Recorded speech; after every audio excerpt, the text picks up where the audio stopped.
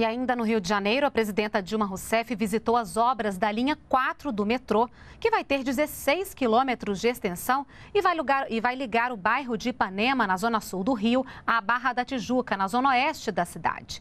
A previsão com a nova linha do metrô é que sejam transportados cerca de 300 mil passageiros por dia. A nova alternativa de transporte vai poupar tempo dos usuários, já que deve permitir fazer o trajeto da Barra da Tijuca até Ipanema em 15 minutos e da Barra ao centro da cidade em 34 minutos. Atualmente, nos horários de maior tráfego, motoristas e passageiros fazem o mesmo percurso, em média, em mais de duas horas. Engarrafamento todo dia, é complicado. É um caos. Se você vir 4 horas da tarde aqui, pegar essa curva aqui para sair, você fica aqui meia hora, 40 minutos. Serão seis estações: Jardim Oceânico, na Barra da Tijuca, São Conrado, Gávea, Antero de Quental, Jardim de Alá e Nossa Senhora da Paz, em Ipanema. Até o momento, de acordo com o consórcio Rio Barra, responsável pela obra, já foram escavados mais de 7,5 km de túneis entre a Barra e a Gávea, com equipamento chamado Túnel Borer Machine, apelidado de Tatuzão por abrir espaços embaixo da terra.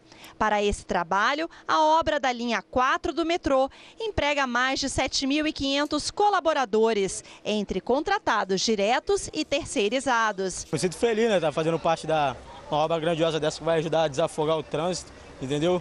Eu acho muito bom, vai ajudar bastante. Os 15 novos trens da linha 4 do metrô do Rio de Janeiro começam a operar no primeiro semestre de 2016, antes dos Jogos Olímpicos. A expectativa é de que 300 mil pessoas usem o novo transporte por dia, circulando pelas seis estações, o que deve retirar cerca de 2 mil veículos por hora em momentos de pico nas ruas da capital fluminense, que passam a alguns metros acima daqui. Nesta quarta-feira, a presidenta Dilma Rousseff visitou as obras da linha 4 do metrô no bairro de São Conrado.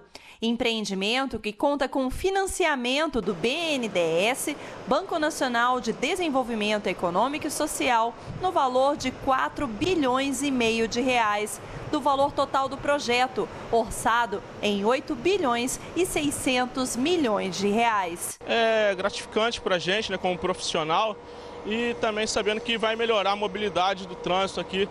Por, conforme eu fico muito tempo preso no trânsito, o metrô vai aliviar bastante. Isso vai ser muito bom para a gente.